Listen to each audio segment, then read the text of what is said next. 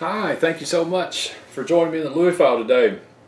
Today, I'm going to be uh, looking in 2 Peter, the first chapter, the first four verses.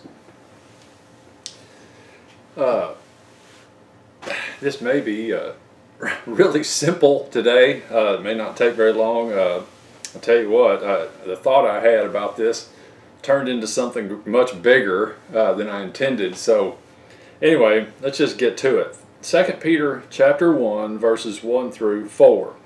Simon Peter, a bondservant and apostle of Jesus Christ, to those who have received a faith of the same kind as ours, by the righteousness of our God and Savior, Jesus Christ. Grace and peace be multiplied to you in the knowledge of God and of Jesus our Lord. Seeing that His divine power has granted to us everything pertaining to life and godliness through the true knowledge of Him who called us by His own glory and excellence. For by these He has granted to us His precious and magnificent promises so that by them you may become partakers of the divine nature, having escaped the corruption that is in the world by lust. Wow. Okay, so this this just got me to thinking. Now, this is the second Peter, and he you know he starts off with an introduction about who he is. He's a bond servant and apostle of Christ, and he, then he, who did he write this to? It says to those who have received a faith just like ours. So they're believers uh, by the righteousness of our God and Savior Jesus Christ. So this is written by Peter to believers, and he just he starts right off with grace and peace multiplied to you in the knowledge of God and of Jesus our Lord. That's pretty great already. But I want really verses three and four is the, the main emphasis here, I think, for me. Seeing, now notice this, seeing that his divine power God's divine power has granted to us everything pertaining to life and godliness. All right, so God's divine power is the means by which we have uh, access to everything pertaining to life and godliness. Then it says, through the true knowledge of Him who called us by His own glory and excellence. so, as we have a true knowing, an intimate knowledge of God, his divine power now is given to us and has what it takes pertaining to life and godliness. Anything we need pertaining to life and godliness is now supplied to us through this divine power as we have true knowledge of Him who has called us by His own glory and excellence. So there's absolutely nothing wrong on His side of this equation. He has the divine power. He has what it takes for us to live, you know, life and godliness. Uh, our side of this is is the willingness and the want to, I guess, to have true knowledge of Him, and it's He's calling us by His glory and excellence. So really, the knowledge part, our willingness to to get to know Him, is, is our side of this equation. So look at verse four. It says, "For by these." by these, what by these, by these what? By this divine power and this true knowledge of him and this glory and excellence. By these, he has granted to us his precious and, his, and magnificent promises, so that by them, those promises, you may become partakers of the divine nature, having escaped the corruption that's in the world by lust. There's so much going on in here. But my main thing about this is the more I thought about it, I thought, so God has divine power. He, he's got, He has divine power, and He has everything in that power that we need for life and godliness uh, and to walk out this thing that He has for us. Everything is, is granted to us through this divine power, but how do we obtain it? How do we get a hold of this divine power? Well, God gives us a promise we by faith say, Yes, sir, I believe your word, I believe your promise, the divine power now pours into the promise, into our faith, into us, and now the new divine partaker of his divine nature. So his power is funneled into his promise. Our faith receives that promise full of this divine power. Now we're living according to His divine nature. Meaning that by faith, we have escaped the corruption that's in the world through lust. The lust that the world uh, injects or that we live in prior to believing the promises is empowering us, if you will, to be lustful for even more. We have this lust for power, we have this greed and this sexual uh, desire and, and overeating and, and wanting to be proud and popular and the best looking and the most wealthy and the most influential. So there, there's, there's a sense where there is a power in that way, a lusting through this corruption in our flesh. But it's saying here that when we, by faith, receive these promises that, that is the means by which this power is poured into us, we get a new nature, we have a new life source that we're living by. The Apostle Paul said in Galatians, he said, Walk by the Spirit, and you will not fulfill the lust of the flesh. And, and he actually said, let's look back for a second in Galatians. Let me see if I can find it. Kind of off the cuff here. Galatians, uh, Galatians 5,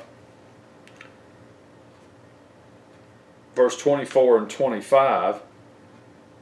Galatians 5, 24, 25. Now those who belong to Christ Jesus have crucified the flesh with its passions and desires, or lust. If we live by the Spirit, let us also walk by the Spirit. So Paul is saying, look, we gotta we gotta see ourselves that our flesh has been crucified, and the passions and lusts that are operating in that flesh, uh, we we become disconnected to. We're now, according to Peter, we're walking according to this new divine nature we used to operate according to a different nature. And if you want to see what that is, if you look in Ephesians 2, verses 1 through 3, it tells us uh, that we used to live according to the prince of the power of the air, the spirit that's now working in the sons of disobedience, and that we were by nature children of wrath. I mean, we all lived in the lust of our flesh, indulging the desires of the flesh and of the mind, and were by nature children of wrath, even as the rest. Why? Because we were operating according to this nature of this other spirit that was operating in us at that point. So we had a, a just by nature, we were a child of wrath. We had this angry, unsatisfiable, that's not a that's not a word, insatiable desire and lust that was operating in our flesh because of this other spirit that's in the children of disobedience, that spirit was was driving us. Well, of course, it just never ends well. Uh, it always ends in broken homes, broken relationships, sick bodies, addictions, uh, lies, deception, uh, murder. All the awful, nasty, rotten stuff in life comes through this. Being operated by this wrong spirit, walking in the wrong nature.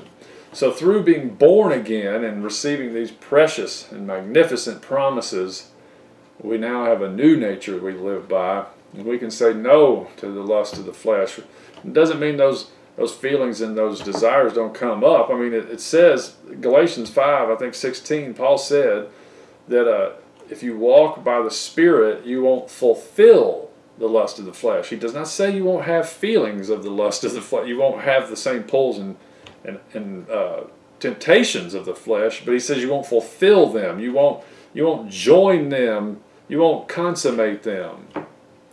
As James puts it, temptation comes, lust uh, is conceived, lust uh, joins together with that temptation, and then sin is brought forth, and then of course death. So there is an agreement on either side of the equation. As a human being, we have two spiritual uh, kingdoms or realms trying to get our uh, attention, trying to get access to operate in our flesh body. Well, that sounds wild, but that's what I've come to believe that the Bible is telling us. That, and that on both sides, whether it's the dark forces or whether it's God Himself, they both require our permission. They need our agreement. So at first, we were deceived. Uh, living according to the flesh, just like the rest of the world, um, blind by the, the prince of this world, the God of this world, however you want to put that, blinded by him. So he, we were doing his will and didn't really even know it. We just thought it was our own. when that finally uh, crushes us and uh, disappoints us and, and we, we just have a big wreck in our life, we finally realize, you know what, this isn't working. I got, I got to find a new way. God, if you're there, just show me. I, I'm open to what you're doing. That's all. See, we give him permission.